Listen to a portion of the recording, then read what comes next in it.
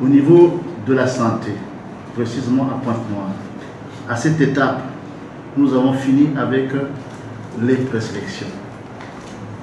Nous avons fini avec les présélections. Pour votre gouverne, vous savez que la charge de travail de nos partenaires chinois est de 500 patients par jour. Et euh, ils vont travailler sur deux sites. Dans le navire, qui recevra 400 patients par jour, et au niveau de l'hôpital général de Louandjili, qui recevra 100 patients par jour. Tout a été fait, toutes les listes sont prêtes.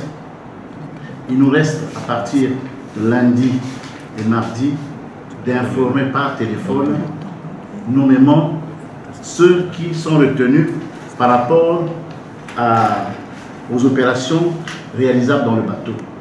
Vous savez que le bateau, le navire vient pour une semaine, il ne peut pas tout faire. Déjà, en prenant 500 personnes par jour, si vous calculez, ça fait autour de 3000 personnes en une semaine, c'est extraordinaire.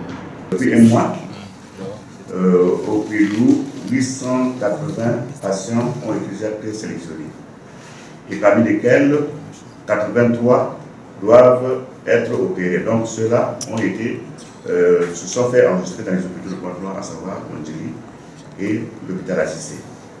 Euh, Entre-temps, les 780 autres vont être consultés par une équipe médicale itinérante des Chinois qui viendra à Makola et à Madinoukai. Donc, pour ce qui est de Makola, nous avons euh, une éphémérée militaire qui va habiter pour l'occasion euh, cette activité donc pendant le jour du 12 au 13. Euh, tous les malades, tous les patients qui vont quitter Mvuti, euh, les Sara, Loufuru, Yinda, Bila et, et viendront se faire consulter à euh, Makola. Euh, cependant, ceux qui viennent de Zami euh, et Madinoukai vont être consultés à Madinoukai le 15 euh, octobre.